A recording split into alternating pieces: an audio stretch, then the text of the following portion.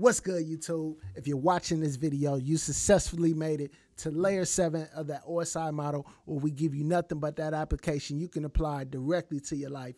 I'm your host, Du'An. Okay, so a couple weeks ago, I got my DevNet Associate certification, and I also joined Cisco DevNet. If you did not know, I'm gonna talk more about that here in another video, but in this video, I'm gonna let you know how to leverage the DevNet Sandbox and how you can get DevNet certified right now. There's seven weeks left in 2020. What does that mean? That means you have seven weeks to join the DevNet class of 2020. This is the inaugural class for Cisco DevNet Associate certifications. The first, the very first. And if you join now, there's so many different perks. You get a exclusive digital badge you have affiliation with Cisco DevNet and get invited to pretty awesome events with people like myself and Stewart and the one and only our founder Susie Wee. And lastly, you get some pretty awesome DevNet gear.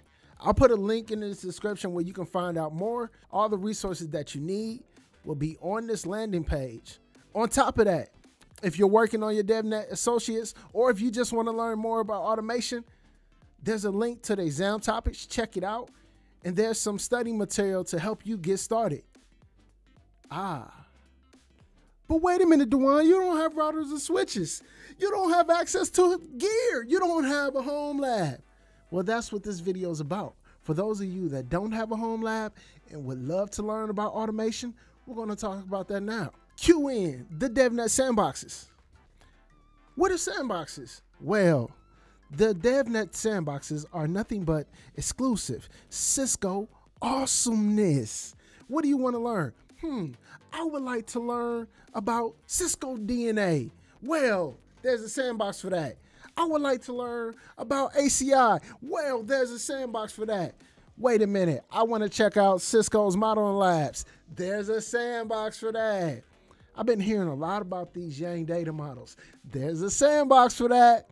All right, so what am I talking about? I'll leave a link in the description to where you can go to developer.cisco.com forward slash site forward slash sandbox. And on this page, what you'll find is a sign up button. If you have not signed up for DevNet, I suggest you do so. And if you have, just log in. I'm going to log in because I'm already a member.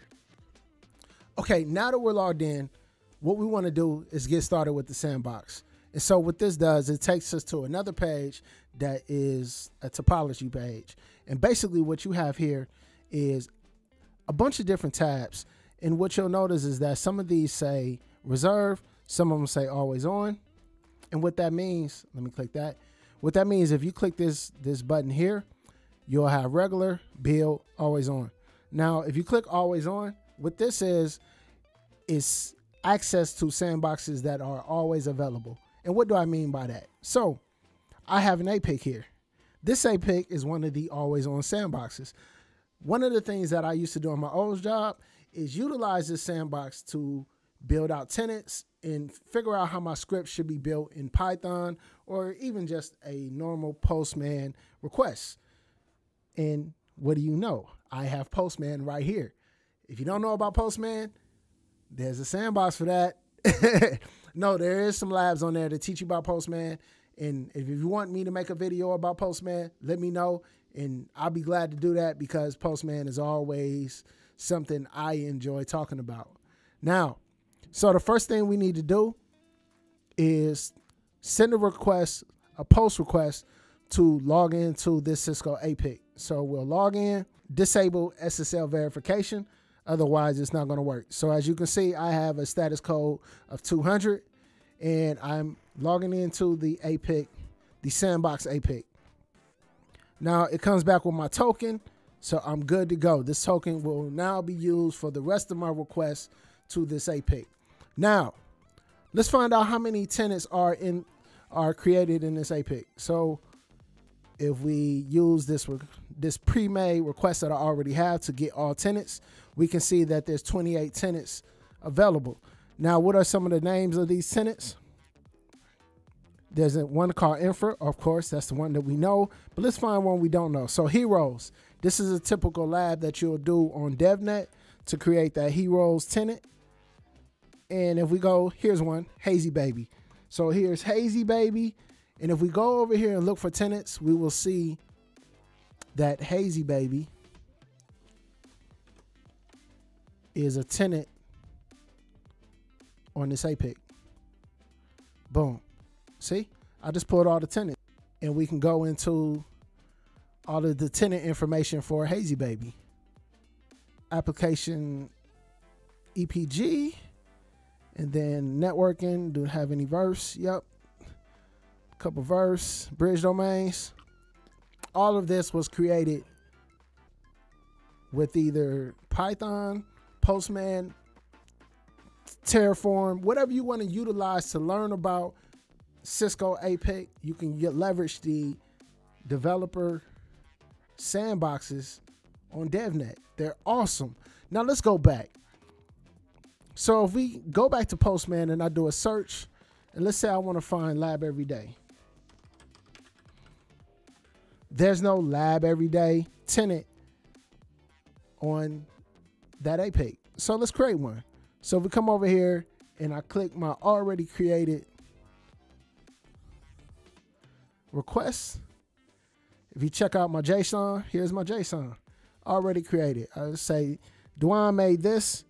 I wish I was at CLEUR, Cisco Live Europe. Uh, maybe next year, everyone enjoy. And then my alias is Du'An. We'll click send.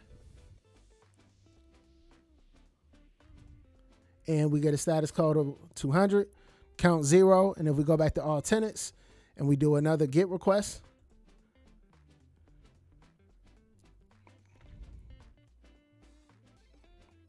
And now we have 29 total tenants.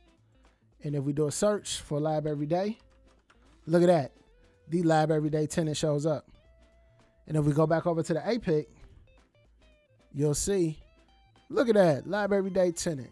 And if we go to lab everyday tenant, it lets you know that I created that. Let's see what's in here. I don't have any EPGs. No bridge domain should be created no VRFs. I haven't created anything, but if I wanted to, I could create all of that either in Postman or I could leverage Python. But anyway, going back to the Sandbox Labs, we talked about the always on. If we go to the the regular or the all, what you'll see is these reserve options. And what these reserve options allow you to do is to reserve an entire environment. So if we go to the the ACI reservation, you'll have a CentOS box, you'll have a Windows box, um, this VLAN switch, and ACI. And basically, what you'll do, you'll reserve this, then you'll have the VPN so you can access this network, and then you could do labs that are dedicated just towards this environment. So essentially, with the reservation, let's let's let's see an example. So with the reservation, I could schedule a two-hour window to be able to reserve this, and I can reserve it today or a few days from now. In in my opinion, that's awesome.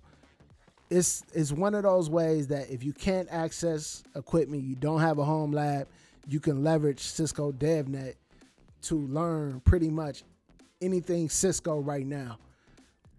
It's it's very powerful, and I recommend if you're not utilizing it, you utilize it. Reach out to me on Twitter if you have questions about this.